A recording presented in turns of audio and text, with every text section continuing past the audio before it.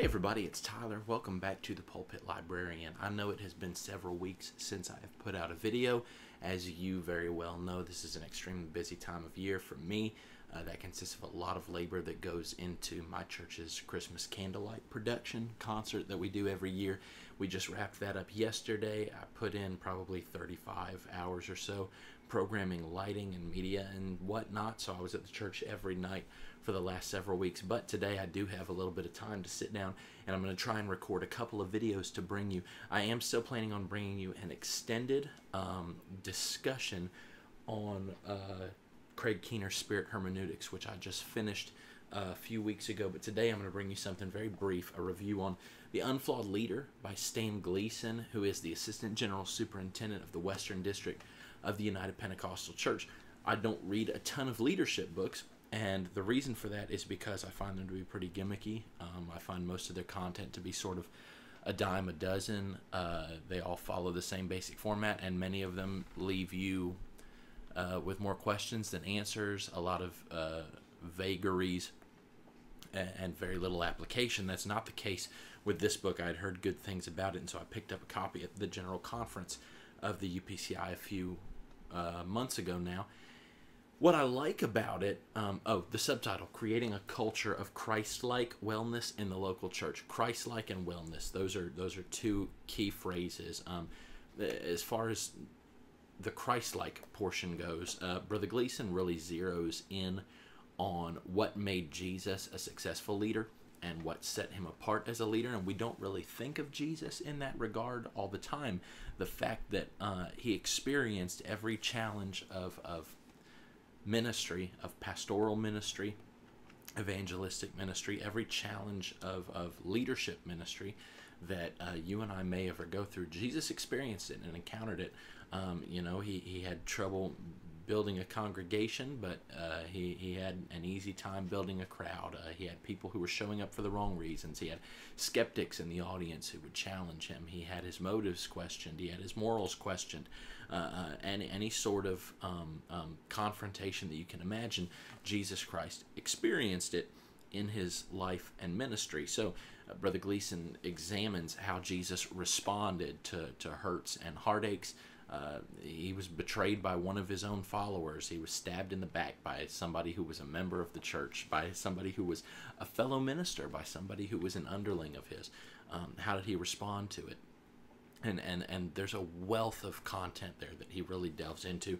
Uh, and then the second the second key word I mentioned is wellness, and that really is a, a focal point here. That I, I was always taught um, when I was growing up and first getting started with preaching. My bishop, uh, my pastor at the time, uh, had a phrase that he would repeat often, and that's you have to build a man before you can build a ministry. The wellness of the leader, the wellness of the pastor plays such a critical role in determining uh, the wellness of a church. So, the best chapters that I found in here, the chapters that make it worthwhile. Let, let me give you my one complaint, and that is that Brother Gleason really uh, quotes a whole lot of other people. He quotes John Maxwell a bunch, and there's nothing wrong with that. I, I care what those other people have to say, and I haven't read their books, so I appreciate him citing and, and, and providing quotes and extra information. But the book is at its best when Brother Gleason is sharing his own testimonies and his own stories, and it does take a few chapters before he really gets into the swing of doing that. But right around the middle section, chapter 6, chapter 7, and chapter 9, I mark as the best chapters in the book. Um, Chapter 6 Christ like leaders practice self care. Chapter 7 Christ like leaders pursue peace. And then chapter 9 Christ like leaders give the gift of greatness. Let me flip there and show you a few of the things that I gleaned from the book because I think you should pick up a copy and I think you'll glean a great, glean a great deal too. Christ like leaders practice self care. Let's see.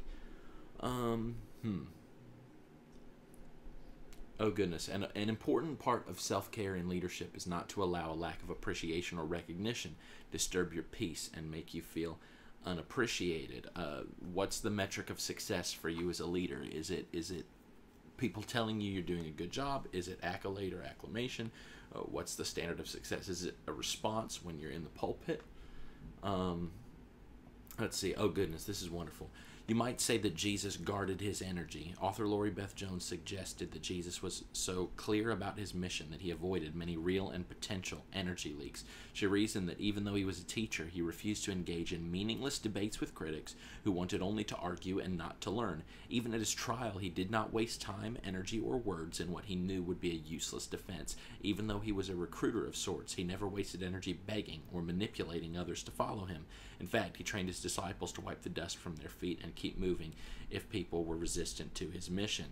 Um, and then Brother Gleason adds, he says, By the grace of God, I have always been able to sleep. Even during some of my darkest seasons, God has given me rest. You just don't waste your time and your energy expending it on people who um, are resistant or who are against you. And that's contrary to what we think ministry looks like.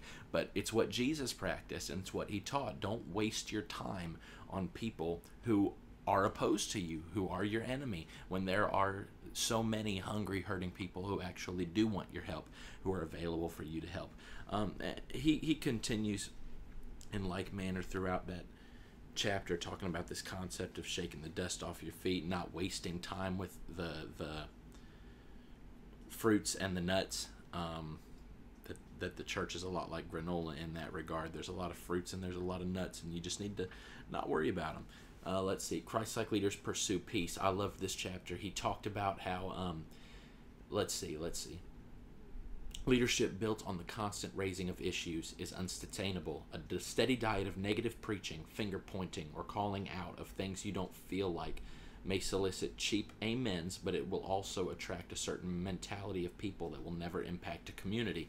That negative preaching, negative churches, I'm always against this, that, and the other, woe is me, I'm the last guy preaching doctrine, I'm the last bastion of truth in my community, blah, blah, blah. It's not a, a healthy leadership mindset, it's not a healthy ministry mindset, and Jesus certainly never exhibited that in his entire life and ministry. And then that last chapter, chapter 9, Christ like leaders give the gift of greatness. It's all about investing in other people, investing in other leaders, investing in people who are younger than you, who are coming up after you. And, and obviously, we know that Jesus most certainly exhibited and defined that aspect of ministry.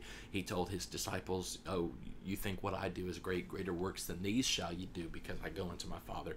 Um, greatness was always God's intention for the church. He wants us to be successful uh, and, and that takes many shapes and many forms. Again, how you measure success is going to look different from how the world measures success, but uh, he does want us to be successful. It's not all supposed to be this um, um, mediocrity. And he, he gets into that idea of mediocrity a little bit. But the book is at its best when he's sharing testimonies and stories. He shares a lot of his personal heartaches uh, that he's experienced in ministry, uh, church boards that bullied him, uh, elder ministers who who put him down and and we kind of get a front row seat to that side of things but it's edifying it's it's not some woe is me brother gleason's not like that at all um, it's not some woe is me as a, as a matter of fact uh, and i'll close with this the first time i met the author stan gleason i was at well the first time i met him he preached at a campus ministry conference in maryland that i was attending and he talked about discipleship because he's written another great book uh, on discipleship. I've got it up here somewhere. I'll, I'll maybe pull it off later. A great book on discipleship, and he taught this this Bible study on on building a culture of discipleship. And I discussed with him afterwards. Well, a couple weeks later, I was at Because of the Times conference in Alexandria, and I went up to share. I think it was a testimony of something that had happened in our campus ministry ever since. Uh, we'd been at that conference just a few weeks before. I remember while I was having a conversation with him, um, somebody else, much more prominent than I am, important, notable, came walking up, approached, and they wanted to speak with him. He's the assistant general superintendent of our fellowship. They wanted to speak with him, and I remember Brother Gleason never broke eye contact with me, never. Um, I remember he, he raised politely, raised a finger to that, that gentleman who had approached, never broke eye contact, and for the next three, four minutes, we continued the conversation. In fact, he made sure to continue the conversation by asking questions and by by engaging with me. And and I was taking notes mentally the entire time on this is what it looks like to practice what you preach. This is what it looks like to just have no concept of politics or politicking. It's just one on one relationships with people, and that that's what ministry is about, and that's what leadership is about. So he practices what he preaches, and I would encourage you to pick it up. If you've enjoyed this video, click the like button, click the subscribe button. We have hit 100 subscribers officially. I'm very thankful for it. Leave a comment. Let me know uh, if you've picked up the book, what you think of it, or if you're going to pick it up. I hope you have a good day, and I hope you enjoy the rest of your week. I hope the Lord bless you and your ministry. In Jesus' name.